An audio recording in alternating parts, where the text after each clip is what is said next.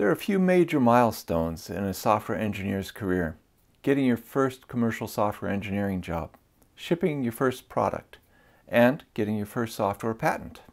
Software patents are even more controversial than their physical device counterparts.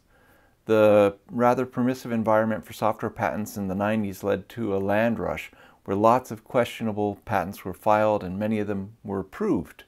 Still, being able to say that you're an uh, inventor on a published and accepted patent has a certain allure to it. What exactly is a software patent and what does it take to get one? Hi, I'm John Miller, the Deliberate Engineer. I spent the last 30 years working at a variety of places, including much of it at big tech companies like Microsoft, Amazon, and so on. As a result, I was involved in several V1 projects and lots of inventions, many of which resulted in patents. I have more than 30 unique patents uh, to my name. Today we're going to talk a bit about software patents. How do you file one? How is it evaluated and granted? What's the value of having a software patent? What are they used for? How are they abused? Is it even worth filing a software patent? Today I'm going to give you some examples of patents and inventions that I've been involved with and then help give you more of an idea about what the process is and whether it's worth participating in. Before we go any further, I need to give a disclaimer. I am not a lawyer, and I'm certainly not a patent lawyer.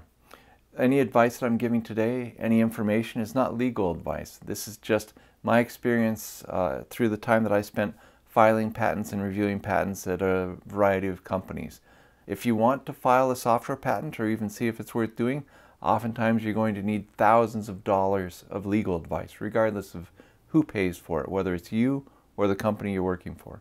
Also, I've mostly worked in the US, so my perspective on things is going to be skewed towards working in the US and filing US patents, possibly a little bit about filing globally as a US inventor.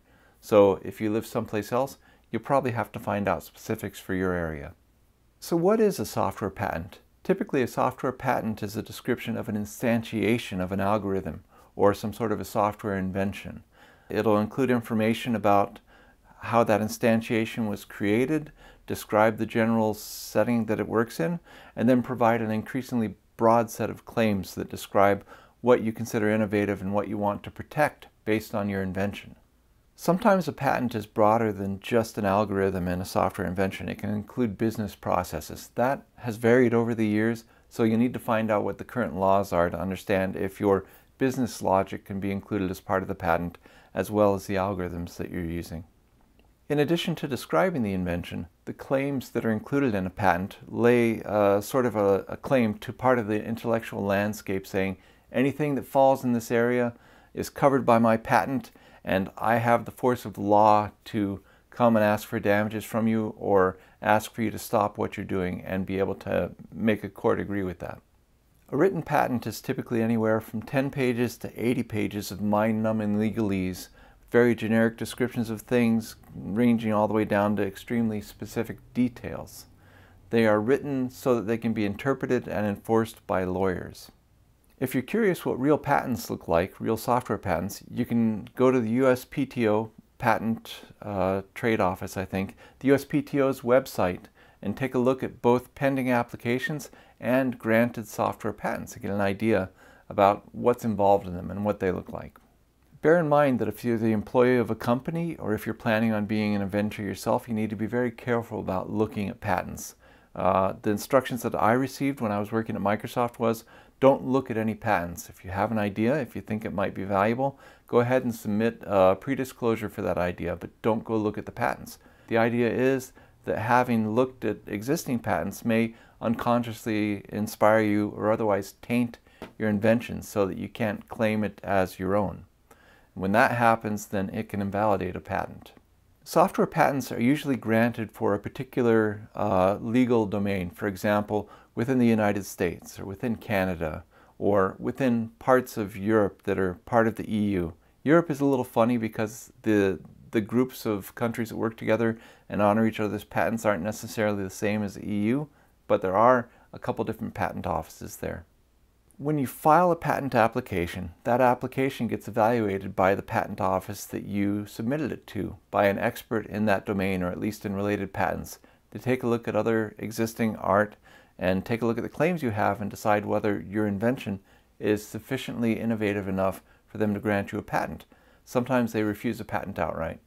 More often what they'll do is take a look at the, the patent and uh, disallow some of the claims. They'll give you a suggestion of things that need to get revised. It comes back to your patent lawyer, they revise it, you approve the revisions, and then that goes on to the patent office where that revised version gets reviewed again and possibly gets granted. The whole process from start to finish, at least in the US, can take anywhere from six months to several years.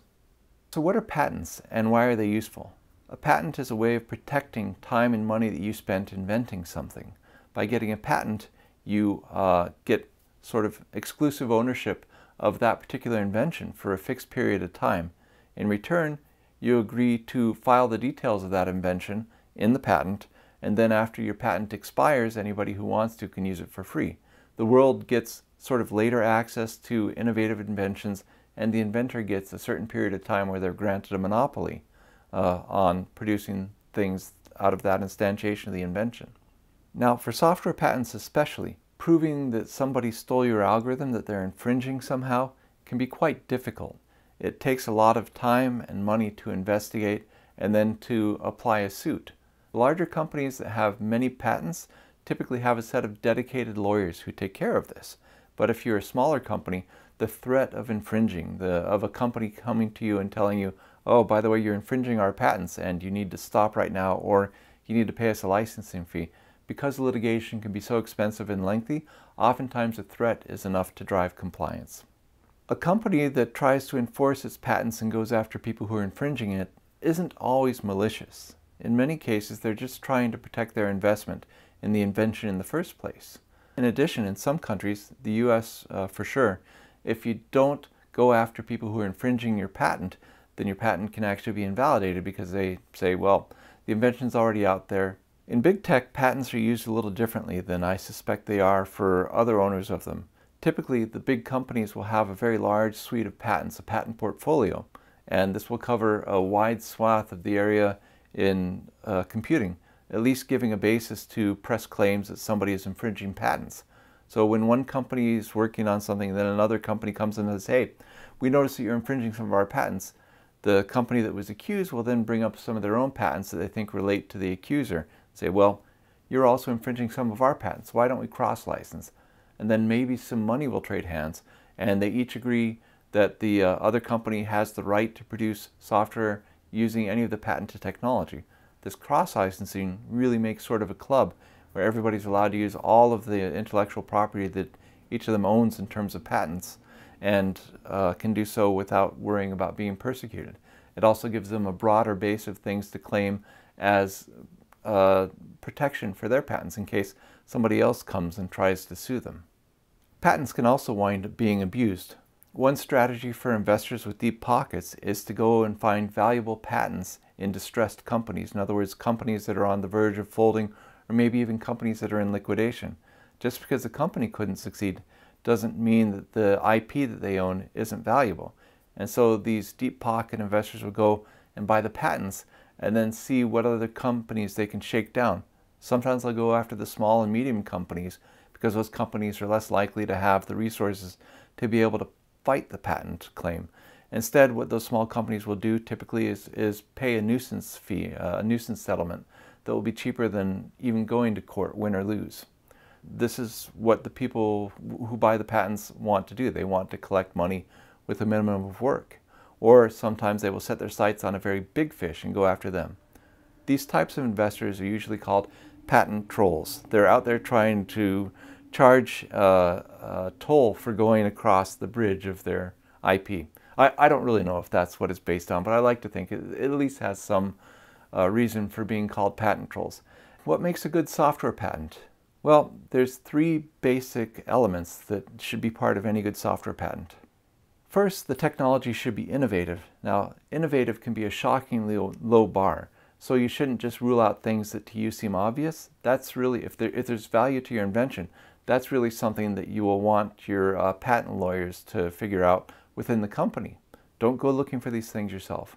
So that's why you file something called a pre-disclosure that describes the invention mentions anything you know off the top of your head that might be related to it to make the search easier for them, and then uh, describes uh, roughly why you think it's worth patenting. Secondly, the patent should have some way associated with it of making money. For example, if you come up with a compression algorithm that is twice as fast and compresses things twice as far as uh, other existing compression algorithms do, you can bet there's going to be a way to make money off of that. So you'd absolutely want to patent that. On the other hand, if you come up with a technology to validate strings by taking the string, reversing it, and then re-reversing it again, well, that's really just a lot of wasted work, and I don't think anybody would be interested in patenting that. Even if they tried, it probably wouldn't be granted. And third, the patented technology should be detectable somehow if someone's infringing your patent.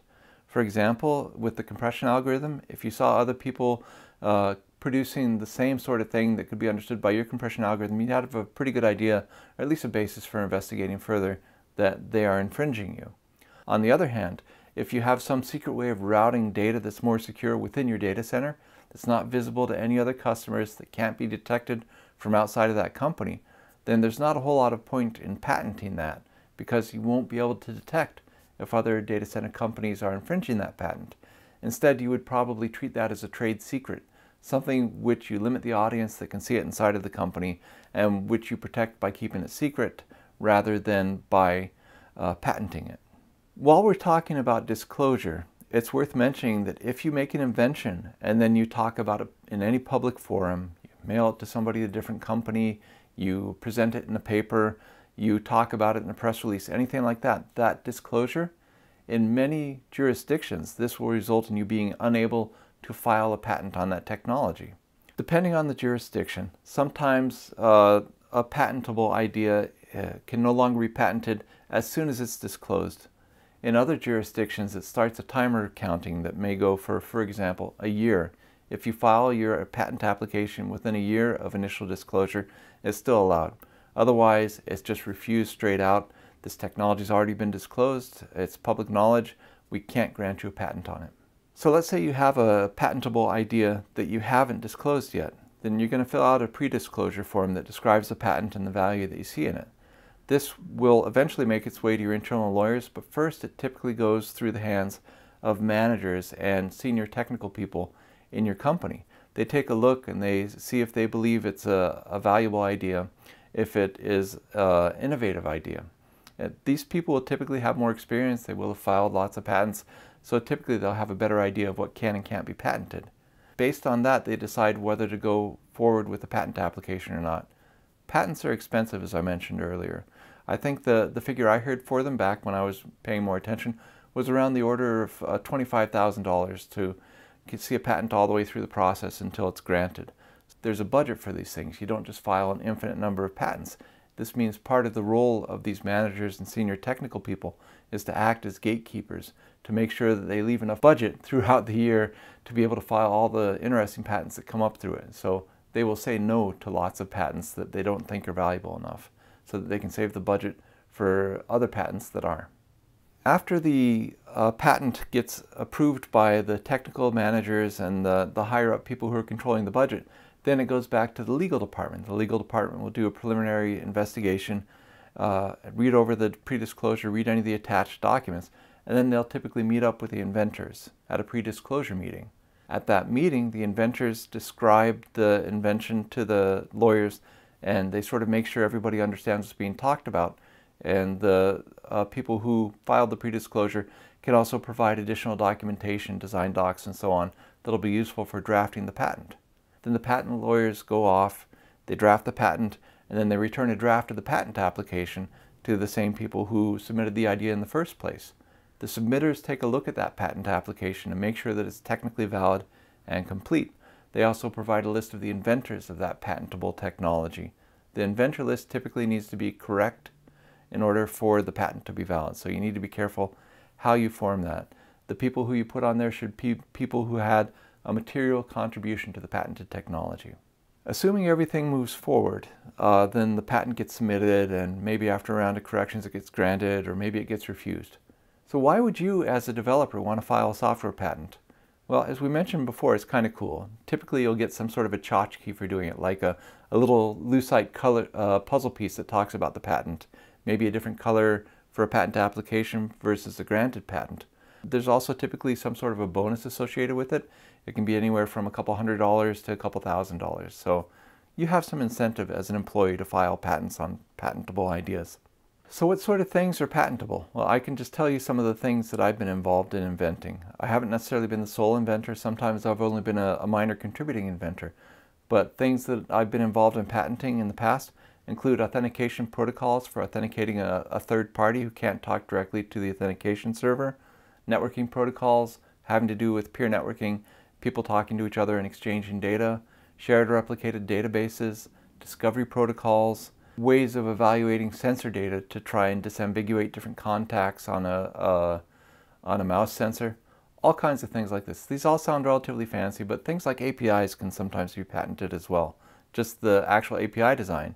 That gives people the option then of suing somebody who tries to make a replacement module using the same API. I don't know if this is still allowed today, but it was a strategy in the past.